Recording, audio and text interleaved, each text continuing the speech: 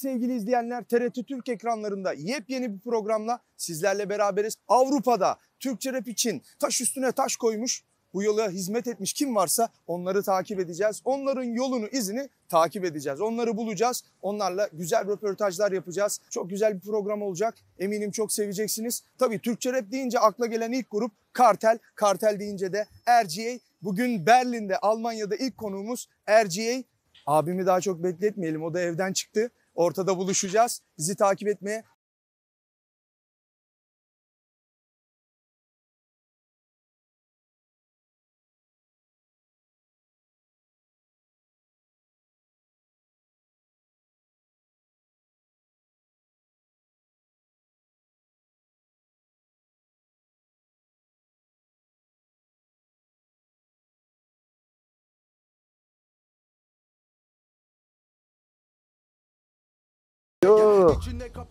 Resul kardeşim nasılsın? Eyvallah abi sen nasılsın? Ben de iyiyim. Teşekkür ederim. Abi çok heyecanlıyım. Seninle karşılaşmak, yüz yüze görmek. Yıllarca Çok buradaydı sesin. Ama şimdi çok karşında Çok fizikiye dönüşünce Aynen çok teşekkür ederim. acayip oldu. Sağ olun yani. buralara kadar geldiniz. Berlin'in göbeğinde görüşüyoruz. Ee, ben de senin yolunu biraz takip ettim. Öğrendim, baktım.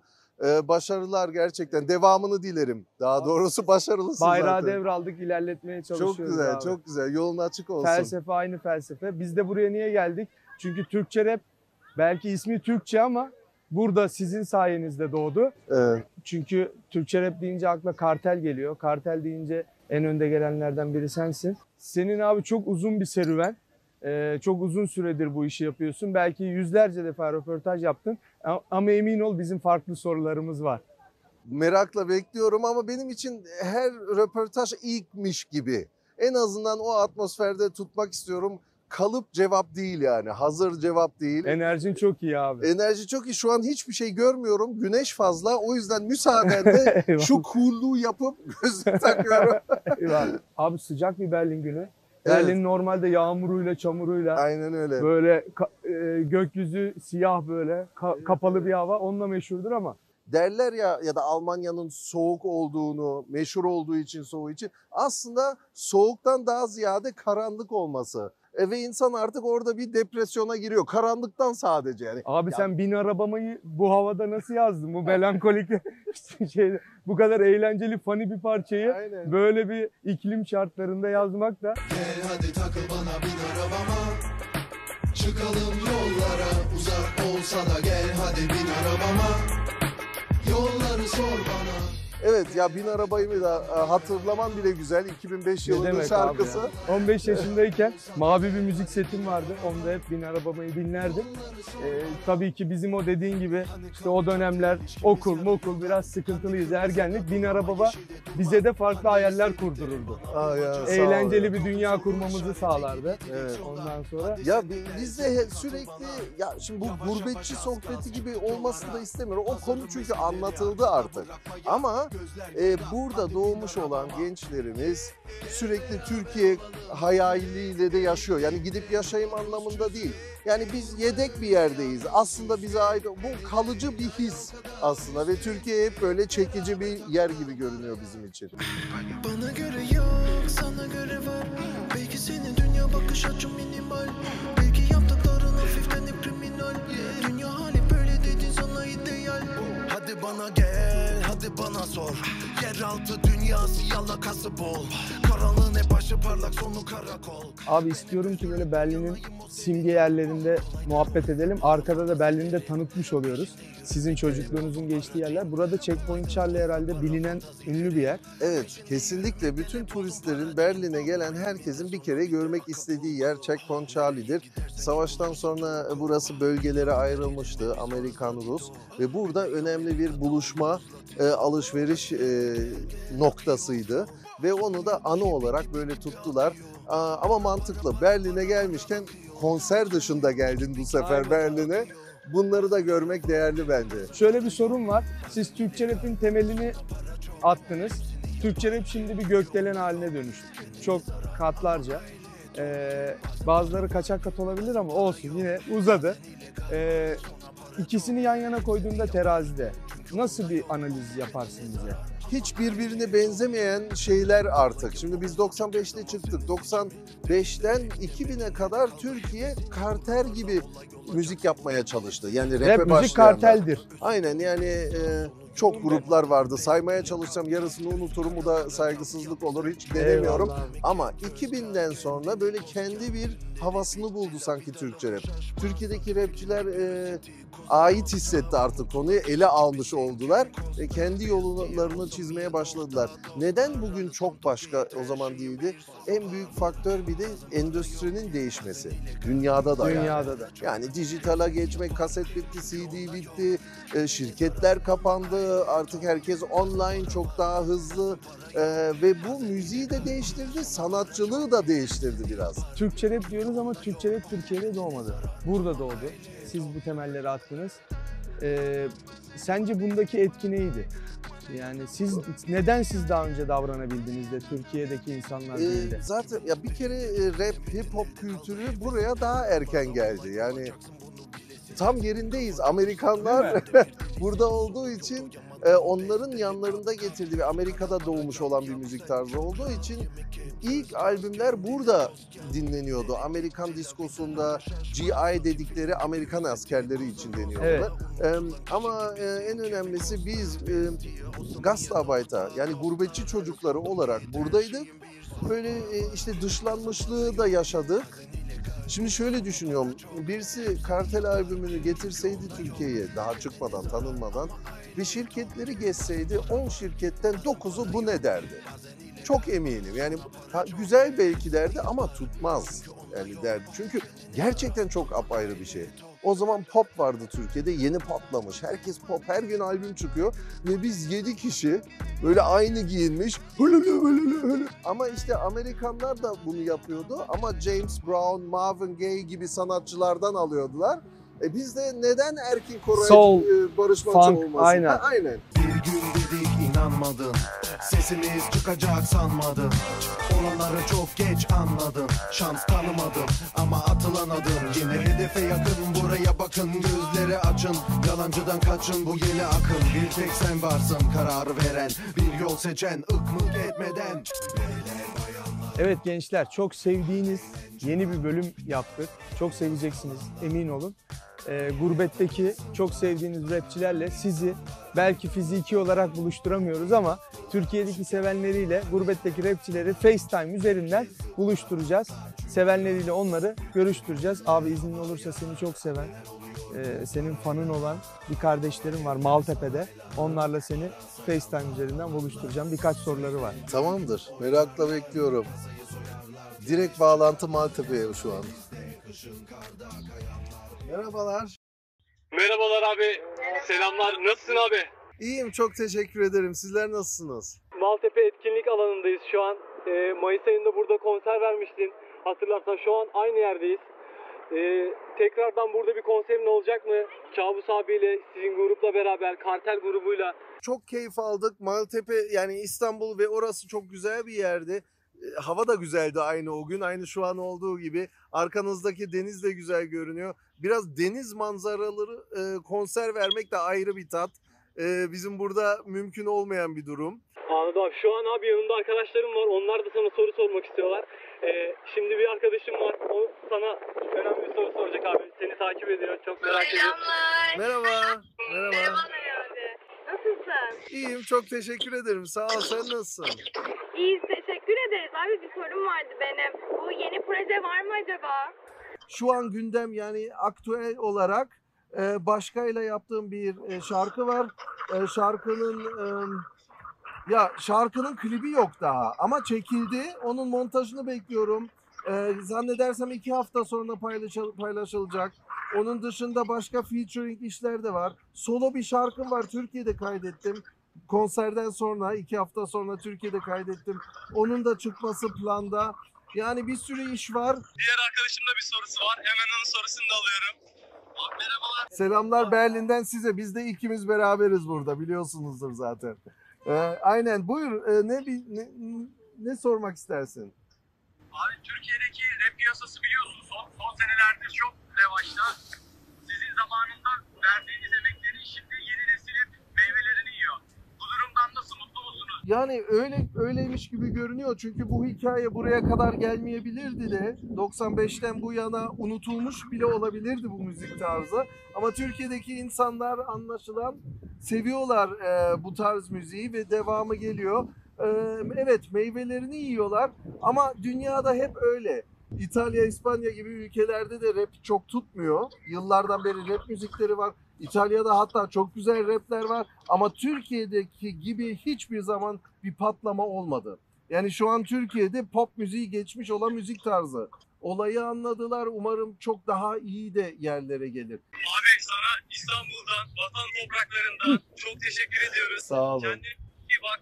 Almanya'ya, Berlin'e, 36 Kreuzberg'e herkese selam olsun. Bütün herkesi çok seviyoruz. Çok sağ olun. Teşekkürler. Eksik olmayın. Biz de selamlıyoruz Re- Resul'le beraber. Ee, umarım sizleri bir gün burada görüşürüz. Burada bir araya geliriz. Sağ olun. Sağ olun. İyi günler. Görüşürüz. Bay bay. Zu viele leben ohne Plan, wissen nur sie wollen fort. Ich liebe dieses Land, ist Deutschland hier mein Heimatort. Es will mich nicht so wirklich, bin ihnen immer noch viel zu türkisch. Es passt nicht, wenn ich sage, dass ich noch eine Sprache habe. Evet şu an Şekil A1'de göründüğü gibi Kreuzberg merkezindeyiz. Geldik.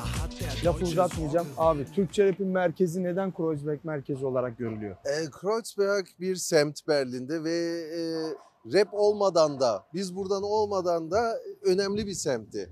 E, böyle bazı konularda daha modern, daha açık, daha dünyaya açık ve her zaman Kozmopolit. biraz fakir, kozmopolit ve biraz fakirdi de hep. Yani biraz street urban derler ya. bir Underground vardı. underground atmosferi her zaman vardı. Ee, ondan sonra burada çok e, biz Türkler Almanya'ya gelince Berlin'dekiler çok büyük sayıda buraya taşındı. Ondan sonra böyle bir merkezvari bir hal aldı ve öncülükler hep buradan çıktı. Yani kültür, sanat, Killa Hakan gibi gruplar, sanatçılar, 36 Boys e, bunlar hep böyle ün yaptı dünyada. Yani bizim buradaki yaşantıyı temsil eden unsurlardı bunlar.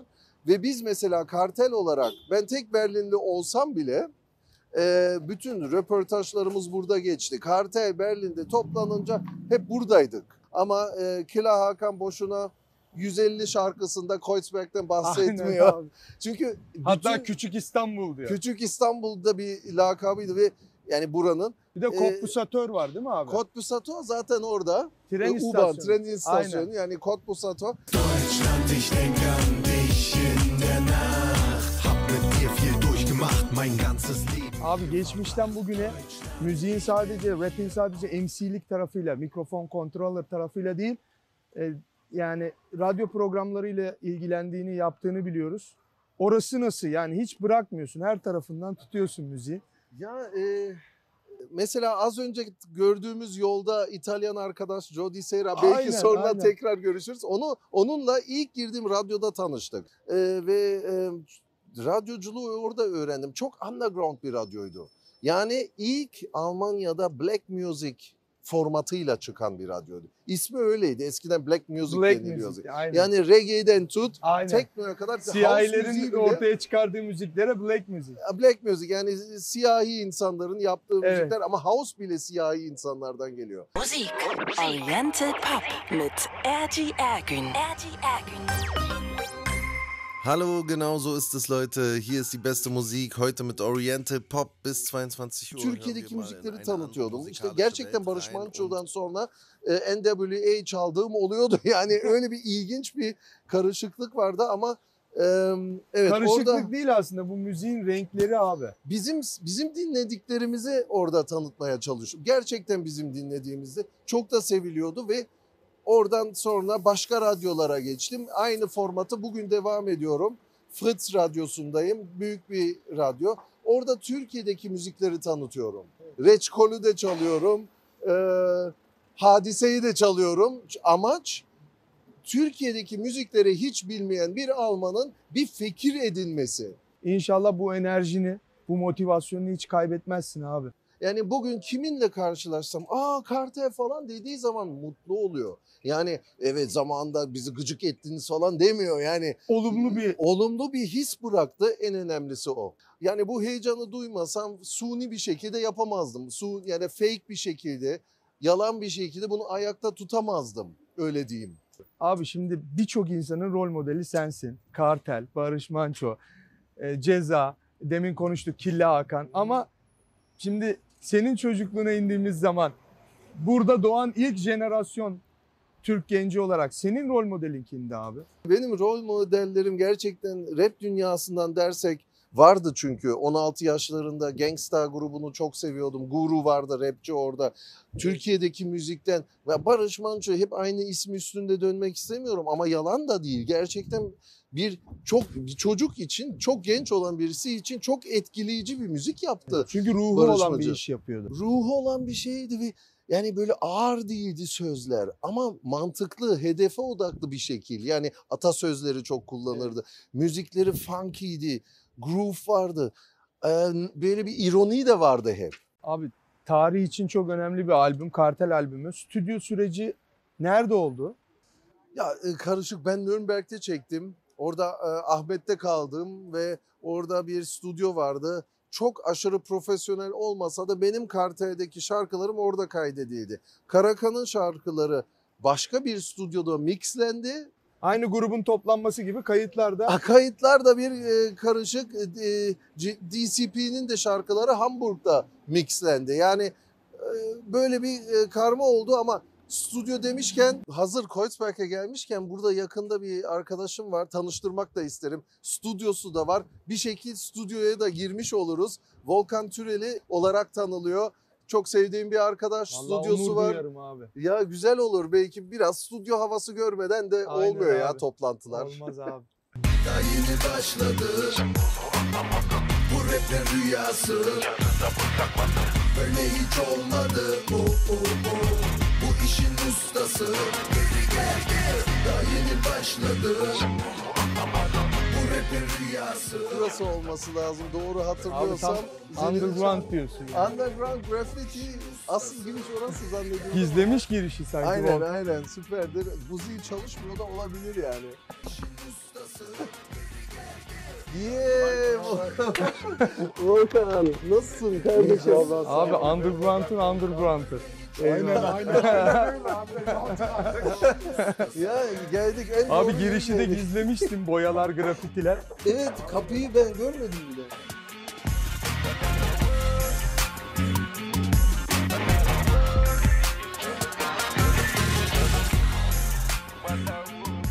Stüdyodayız. Abi Volkan abinin stüdyosuna geldik.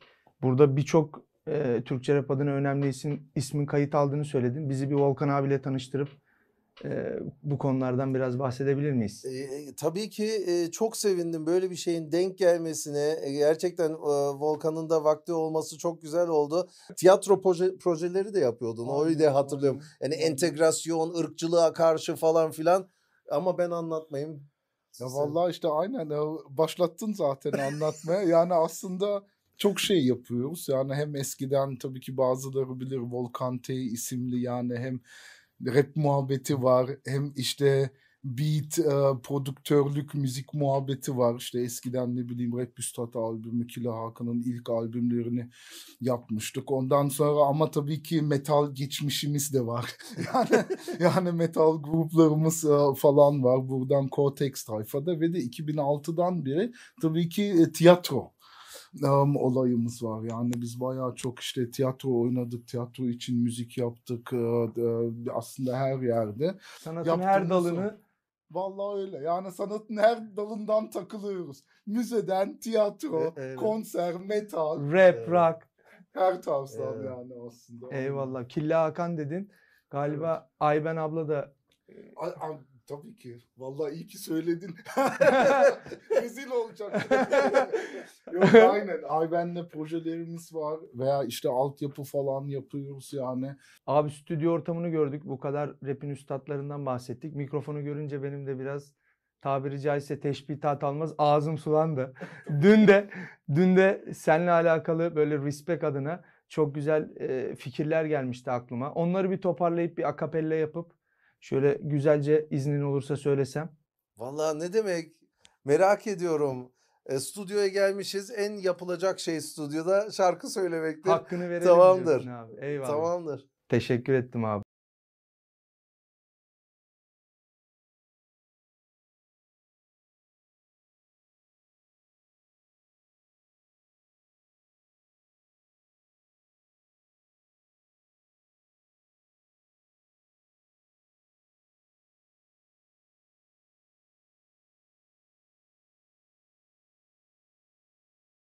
RGA, respect. Ah, ah, yeah. Dertler birikti dağlar gibi Sözler yazıldı sağlam derin. Rap müzik deyince akla kartel gelir. Gel gel gel kartele gel. Dertler birikti dağlar gibi Sözler yazıldı sağlam derin. Rap müzik deyince akla kartel gelir. Gel gel gel. Ah Söylerim sözlerimi yok benim kaygım. Eski okul babalara sonsuzdur saygım. Berlin, İstanbul hattında saydır. Fikirlerim mermi benim, silahım maykım. Türkçe rapin temelleri oluşmakta. Şu anda RGA konuşmakta. Yanındayım üstadın titriyor sesim. Bitti bende sözler abi müziği de kesin. Woo! Çok güzel. Eyvallah abi. Teşekkür ederim. Sağ Ben olasın. teşekkür Çok ederim abi. flow. Ya bitti kayıt. Bu kadar. Yok ben şey sonra... Bende sözler bitti abi. Ya şey e, şarkı kaydetmek değil. Bunu paylaşmak da amaç. Yani full bir şarkı bitirmek değil yani. Yok olay zaten. Ya, Zupa. Rap muhabbeti bu işte. İkinci bir kanal falan kaydetmek istemiyor musun? Back vokal atarım abi. Ya bence de. Dinleyelim mi istiyorsan? Back atayım mı? Back atalım dinleyelim. Back atalım önce. Dün öyle 5 dakikada planladık. Yazdık. ikinci bölümü kesip oraya kompresörü falan biraz daha rap verse'ü daha sağlam basabiliriz. Yok benim kaygım. Sonsuzdur saygım. Hattında saydır. Silahım maykım. Oluşmakta. Konuşmakta. Titriyor sesim. Müziği de kesin. Tamamdır abi. Müziği kesti. Müzik. Sen müziği kesin dedin o kesti. Kısa bir mix yapıyoruz şimdi. Dinleyeceğiz birazdan. Dağlar gibi Sözler yazıldı sağlam müzik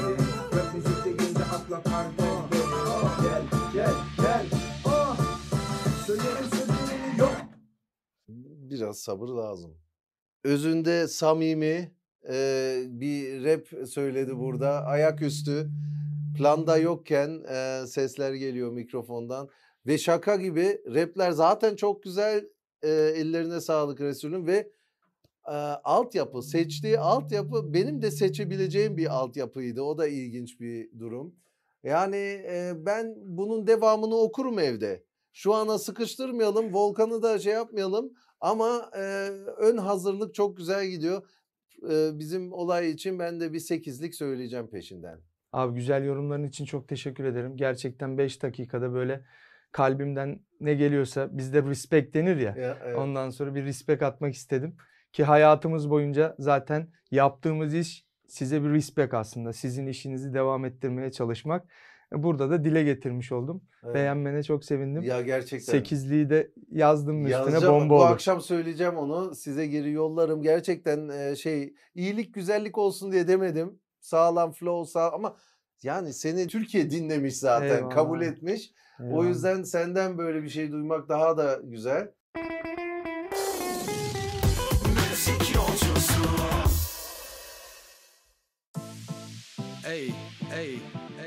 İstanbul, Berlin İstanbul, attı. Berlin attı. RGA, RGA. Respect, respect. Ah, ah, yeah, yeah. Dertler birikti dağlar gibi. Sözler yazıldı sağlam derin. Rap müzik deyince akla kartel gelir. Gel, gel, gel kartele gel. Dertler birikti dağlar gibi. Sözler yazıldı sağlam derin. Rap müzik deyince akla kartel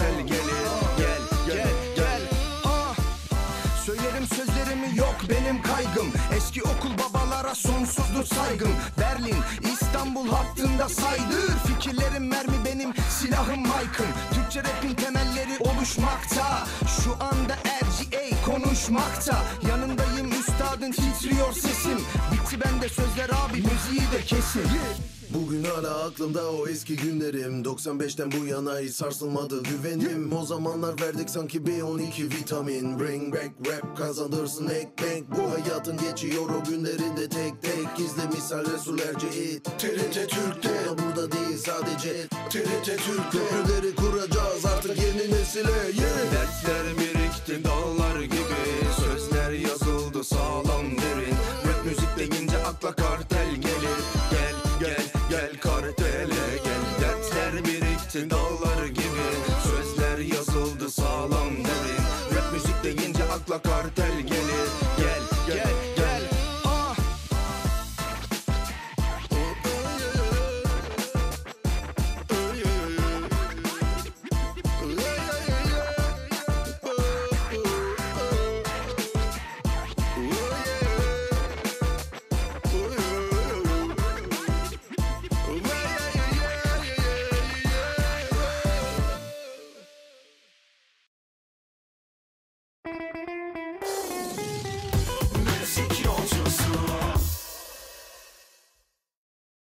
yapıp üstüne söz yazmak mı? Sözü yazıp sonra beat yapmak mı?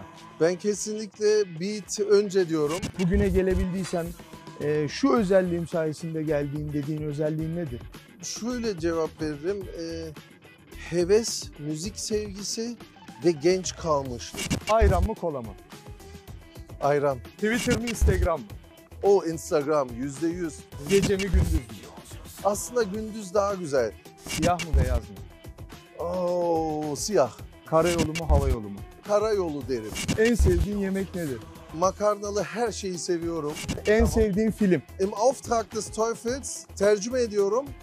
Şeytanın avukatı. Evet. Şarkı nedir abi? En sevdiğin şarkı. Böyle moralin bozulduğunda, mutlu hissettiğinde açıp dinlediğin şarkı nedir? Şunu diyebilirim. De La Soul, and I her zaman açıldığı Soul. zaman pozitif bir his veriyor bana. En sevdiğin şehir ya da ülke?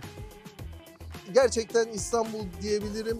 Berlin, İstanbul ikisi de şanslıyım.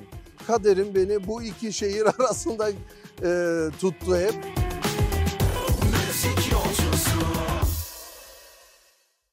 Berlin'de Erciye abimle süper bir gün geçirdik.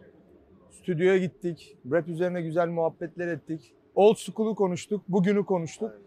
Abi her şey için çok teşekkür ediyoruz. Ben teşekkür ederim. Her zaman tekrar gelin. Çok memnun oldum. Umarım yeterisiyle gezdirebildim. Yani ben pek bir şey yapmadım. Şehir böyle.